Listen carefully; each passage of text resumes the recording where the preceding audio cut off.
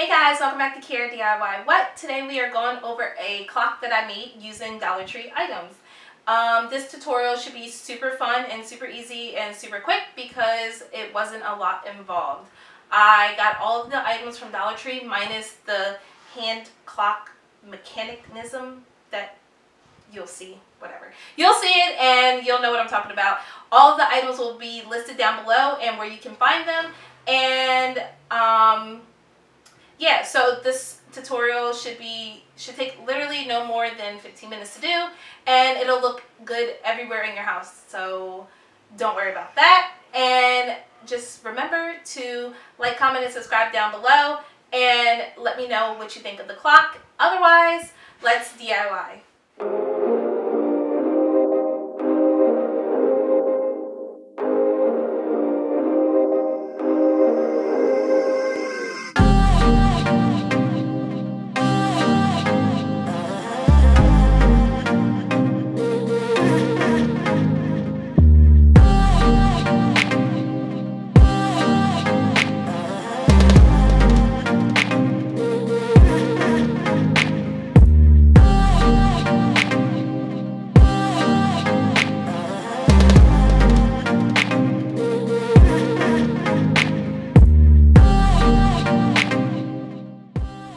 So once you've cut around the charger, you just want to place it on top of the charger and make sure that it's as flat as can be.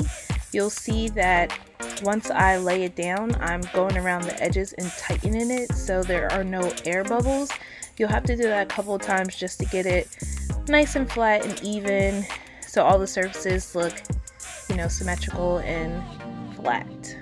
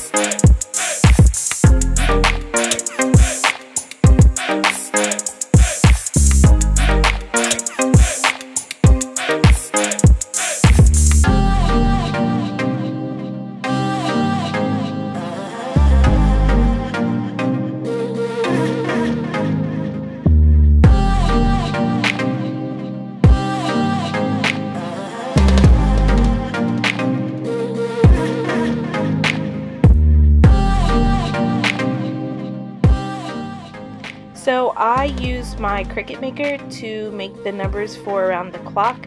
You can easily use any stickers from any craft store or the dollar store to go around the clock. It doesn't have to be Roman numerals, it could be regular numbers. It just has to be the size that'll fit perfectly around the clock.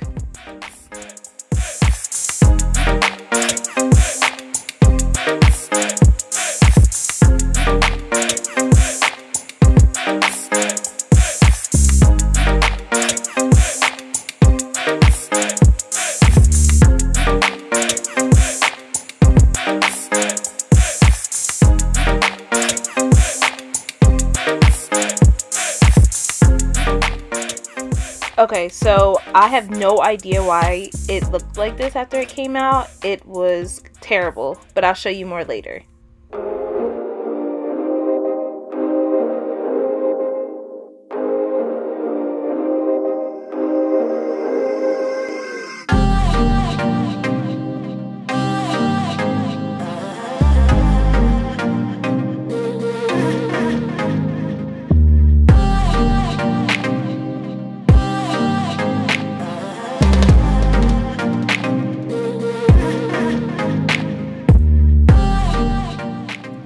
So I realized mid-project that the clock mechanism that I got in the beginning did not what work very well with the size of the hole and the thickness of the charger. So I ran out and got a different one and you see the one that I use now.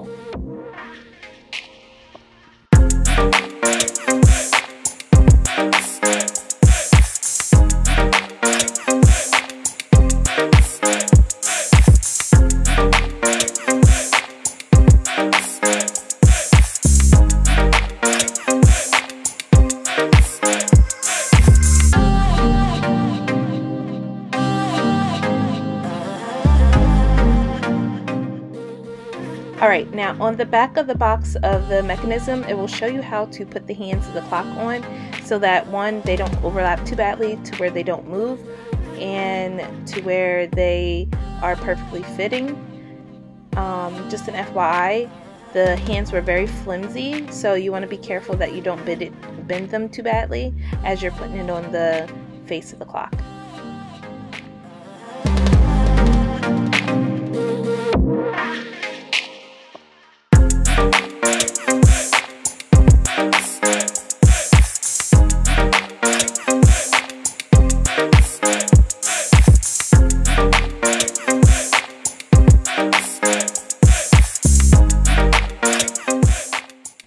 So I went back and fixed the numbers around the clock. I moved them in more so that they were closer to the hands of the clock since the hands of the clock were a little bit smaller.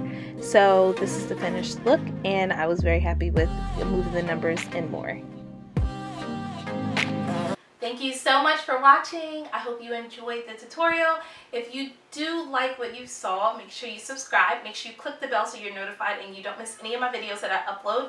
Make sure you also comment down below Make sure you also don't listen to my baby. I don't know why she's screaming, but nonetheless, make sure you share the video and we'll see you next week. Also, if you like what you saw, down below I'm showing you a video that has a similar tutorial that you can do. So click this video and we'll see you next week.